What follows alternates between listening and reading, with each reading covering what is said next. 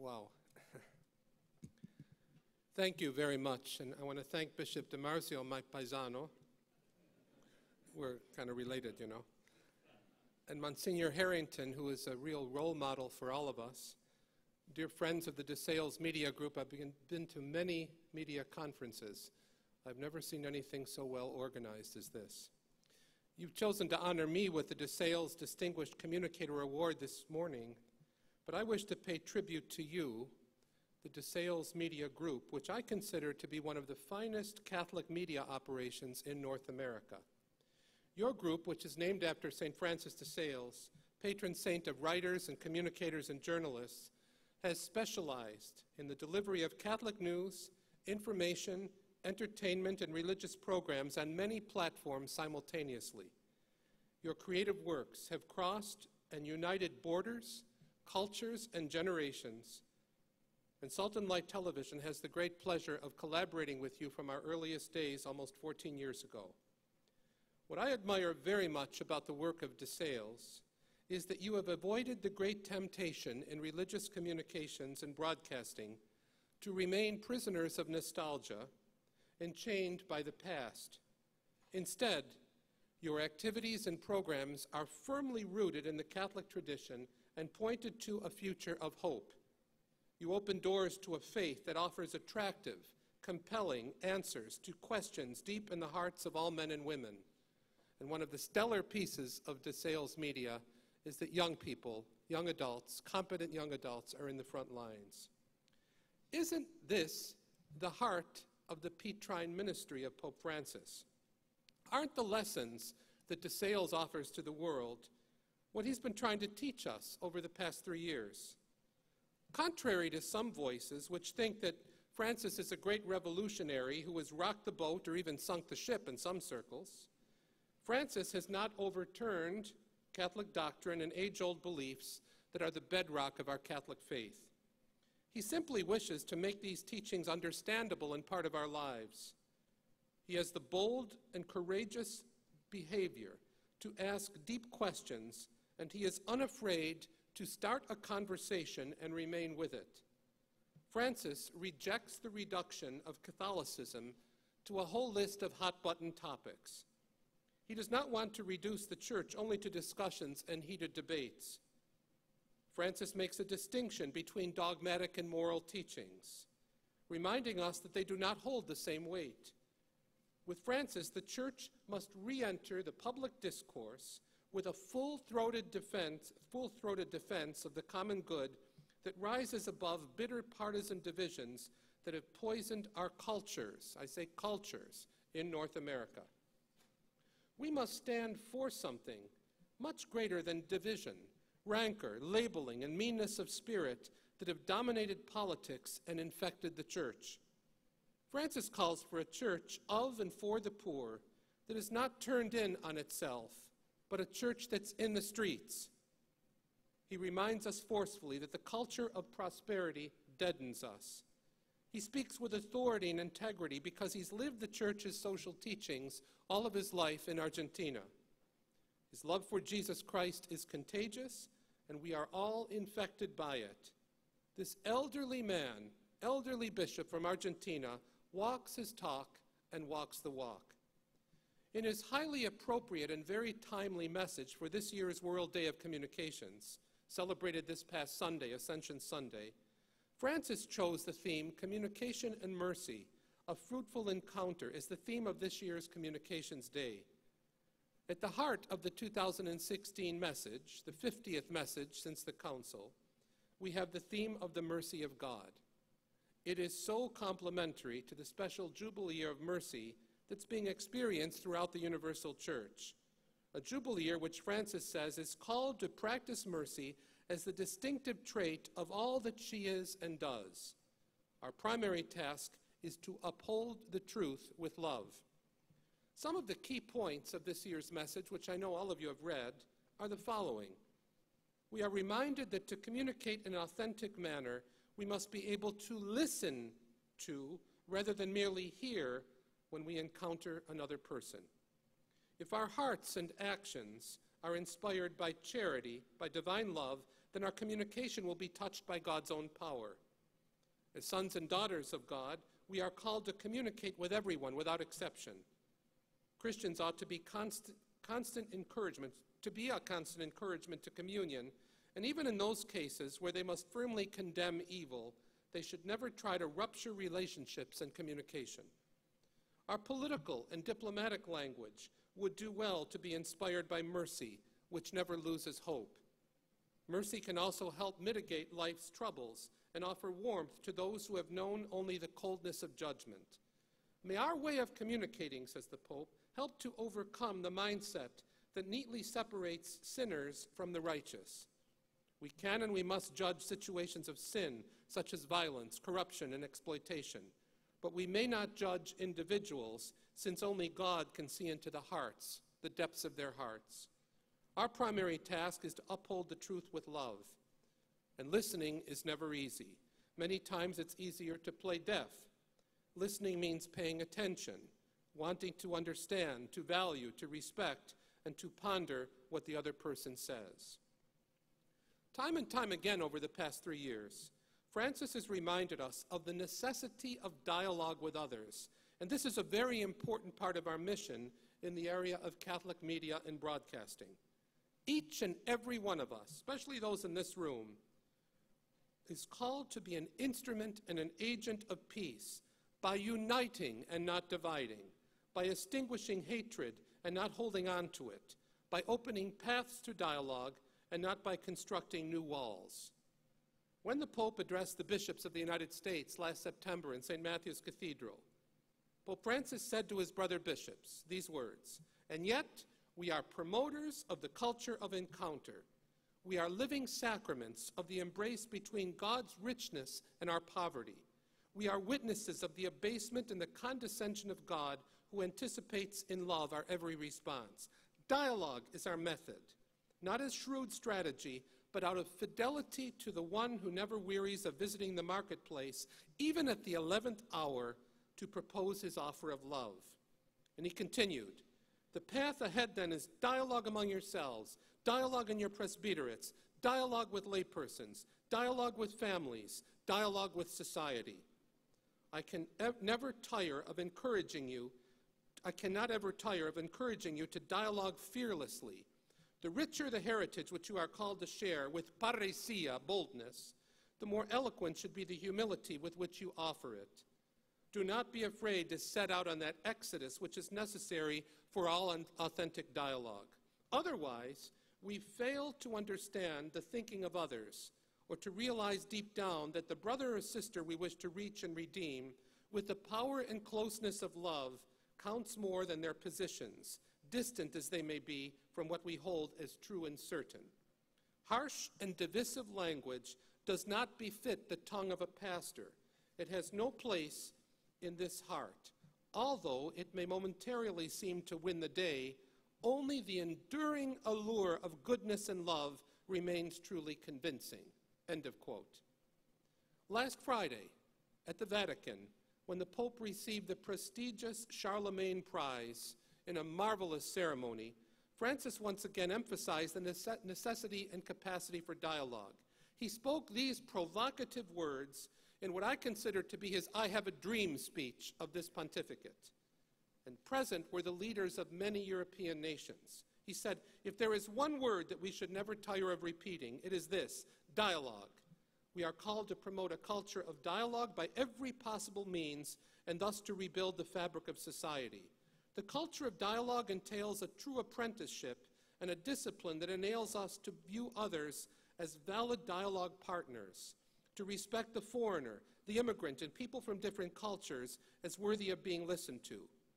The culture of dialogue should be an integral part of the education imparted in our schools, cutting across disciplinary lines and helping to give young people the tools needed to settle conflicts differently than we are accustomed to. Today, we urgently need to build coalitions that are not only military and economic, but cultural, educational, philosophical, and religious. Coalitions that can make clear that beyond many conflicts, there is often in play the power of economic groups coalitions capable of defending people from being exploited for improper ends. Let us arm our people with the culture of dialogue and encounter. These words were not only addressed to the political and diplomatic efforts of nations, nor to the episcopal ministry of bishops in this country, but to the mission and vocation of every one of us involved in Catholic communications, broadcasting, and media. How do we allow our media platforms to become transmitters of the rich and beautiful tradition of the Catholic tradition, while at the same time serving as instruments of dialogue with peoples, traditions, and the cultures around us, many of which can often be hostile to us? How do our platforms and various entities build bridges with individuals and within families, social groups, and peoples? How do we become agents and vehicles of tenerezza e misericordia, tenderness and mercy? Or do we simply contribute to the acrimony, the division, the vengeance, the condemnation, and the hatred present in so many parts of the world, and present in this country at this moment, and in the country from which I come? In his vision for blueprint for ministry, Evangelii Gaudium, Pope Francis criticizes forces within the church who seem to lust for veritable witch hunts, asking rhetorically, whom are we going to evangelize if this is the way we act? Francis wants the church to be an instrument of reconciliation and welcome, a church of dialogue, a church capable of warming hearts, a church that is never bent over on herself, but always seeking those on the periphery, those who are lost, a church capable of leading people home.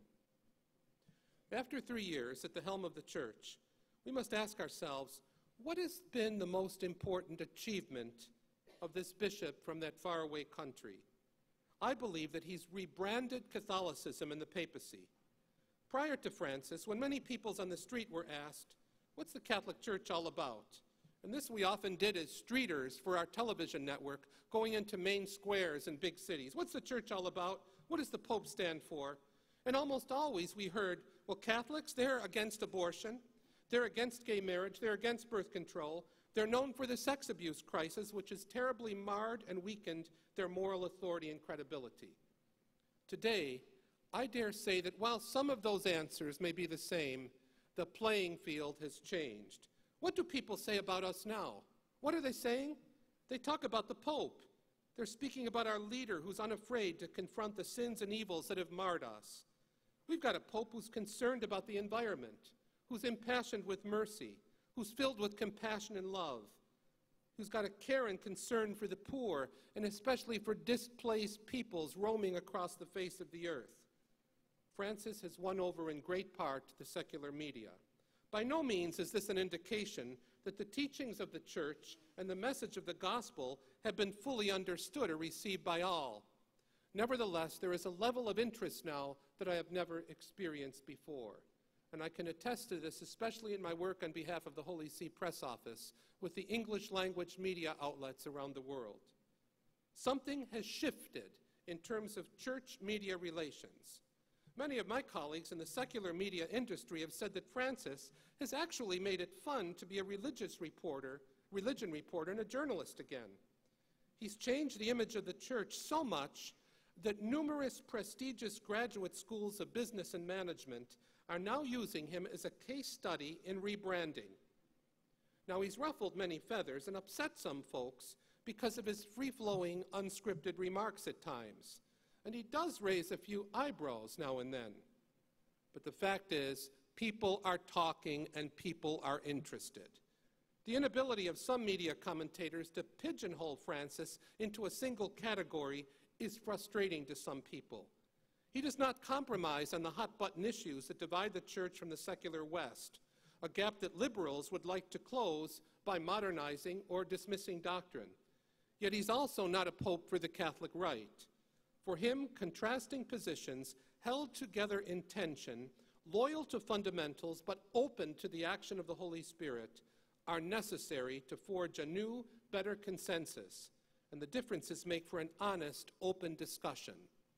He has clearly revived the Synod of Bishops from a long slumber period. It was known as siesta sessions. I can assure you that there were no siestas at the past synods. Francis wants us to be warm, welcoming, and forgiving as Jesus is modeled to us on every single page of the New Testament. Some people say this is the Pope from Argentina. So hold on, folks. This is a Pope from Galilee. This is a Pope who's modeling his papacy on the New Testament and on the ministry of Jesus. He wants us to eat with tax collectors and sinners, to forgive the woman caught in adultery while admonishing her to sin no more. He wants us to welcome and respect foreigners, even our enemies, and above all, not to judge others. He's spoken simply, powerfully, and beautifully about returning to a lost unity, a desire to achieve a missing fullness, a disarming invitation to simply come together to witness to the beauty and the love of Christ. He wants to build bridges so everyone can cross them. He's especially conscious of the poor and the marginalized, social outcasts on the peripheries or the fringes of society. In this year's message for the World Day of Communications, he says these words Communication has the power to build bridges, to enable encounter and inclusion, and thus to enrich society. How beautiful it is when people select their words and actions with care in the effort to avoid misunderstandings, to heal wounded memories, and to build peace and harmony. Words can build bridges between individuals and within families, social groups, and with people. This is possible both in the material world and the digital world. Our words and actions should be such as to help us all to escape the vicious cycles of condemnation and vengeance which continue to ensnare individuals, nations that encourage expressions of hatred. The words of Christians ought to be a constant encouragement to communion even in those cases where they must firmly condemn evil, they should never try to rupture relationships and communications. Let me conclude by taking up one of Francis's very beautiful images, a favorite image, which has certainly been seized by many people, the powerful image of the field hospital. This expression is not unique to Francis. For any one of us who's been in, trained or imbued or affected or impacted by Ignatian spirituality and the Jesuits knows that the expression field hospital is drawn from the spiritual exercises of Ignatius of Loyola. When Francis speaks of the church as a field hospital after battle, he's appealing to Ignatius's understanding of the role of the church in light of God's gaze upon the world. So many people ask us to be close to them. They ask us what they were asking of Jesus to be close to him, to be near him, to be with him. The image of the field hospital is the, the opposite image of a fortress under siege. The image of a field hospital is not just a simple, pretty, poetic metaphor. From this very image, we can derive an understanding of both the church's mission and the sacraments of salvation. Field hospitals, by their very nature, indicate a battleground, a struggle, suffering, confusion, emergency, and they foster dialogue and encounter, conversation and meeting, consolation, compassion, and the binding of wounds. I want to offer you two areas where field hospitals are badly needed in our media and communications efforts, projects, and programs. And not only hospitals are needed, but caregivers willing to step into the battle, roll up their sleeves, get their hands dirty, become stained by the people that are attending these hospitals. There's no question that the church has entered the whole world of new media with great bravado and zeal. DeSales Media is a perfect example of that. I'm concerned at times that we do enter this world without a lot of careful reflection on what's really happening in this new universe. Does the use of new media serve to deepen our attentiveness to the presence of God and to the risen Christ, to the living Spirit, to the community gathered around us, and to the world in which we are called to minister? In the digital world, no matter how hasty, undigested, unreflective the responses may be from our audience, our patient listening must always triumph. Internet and digital culture condition us to think that quick, instant, nanosecond responses to complex questions are the most valuable responses. But it is then that we teachers and pastors and agents of communication become choreographers of immediacy rather than midwives of a slower wisdom. Francis warns us, quote, some people want their interpersonal relationships provided by sophisticated equipment, by screens and systems which can be turned on and off, friended or unfriended. He continues, the gospel tells us we run the risk of face to face encounters with others, with their physical presence, which challenges us with their pain and their pleas, with their joy which infects us. Evangelii Gaudium, paragraph 88. Let me identify a second battleground where a field hospital is badly needed in our efforts, and so with the field hospital, caregivers, emergency responders. We can each name a country or a land where blood, terror, and violence seem to have the upper hand right now. But the big battlefield before humanity is also in the digital world, one that requires no passport or airline ticket to enter. You simply need a keyboard, a screen, a handheld device, and a blog, sometimes with a Latin title. It is in that universe that many wars are waged each day where many souls live, walk, or troll.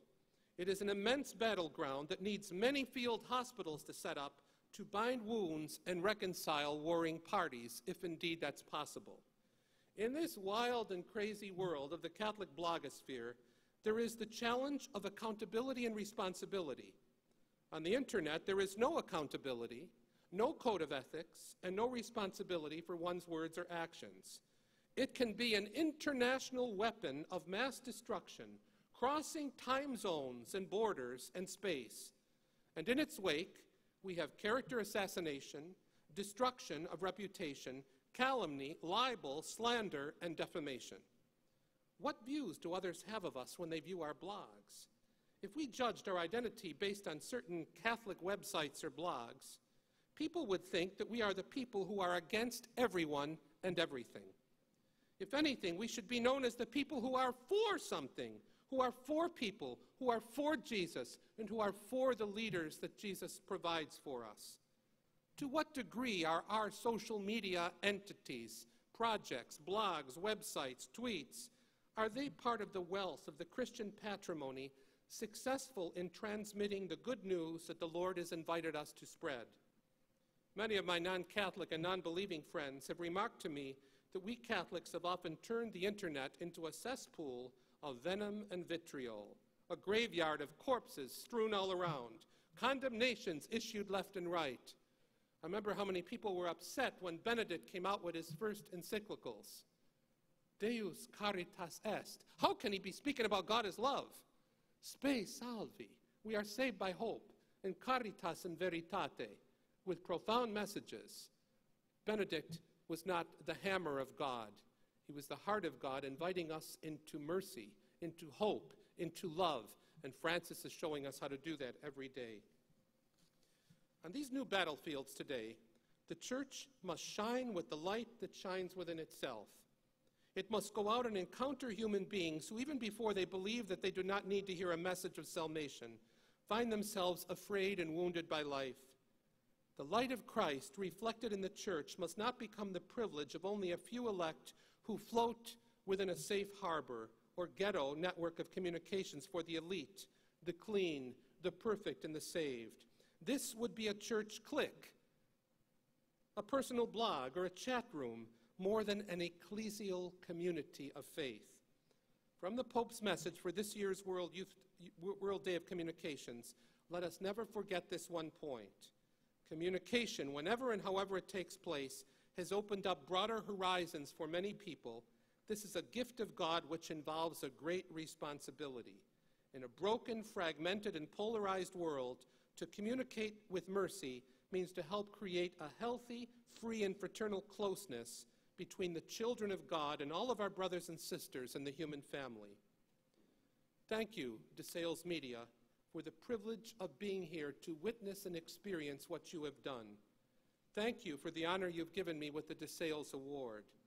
If we remember Francis DeSales today, it's not for the call to holiness for all people and all is it not for the call to holiness for all people in all walks of life, the necessity of living in the present moment as the privileged opportunity to know and live God's will, the goodness of creation, the centrality of love and freedom in one's relationship with God and the world, the sanctity of the ordinary done passionately well, and the gentleness, humility, optimism, and joy that come from living in truthfulness. This was the core of Francis de Sales' spirituality in his day. Francis of Buenos Aires teaches us the same thing. He's a mover and shaker of human hearts and consciences, a living witness to what, to what happens when communications and mercy embrace and meet. Let us learn from him how to model this badly needed kindness, goodness, mercy, and joy to a wounded world and a broken humanity around us. Thank you very much.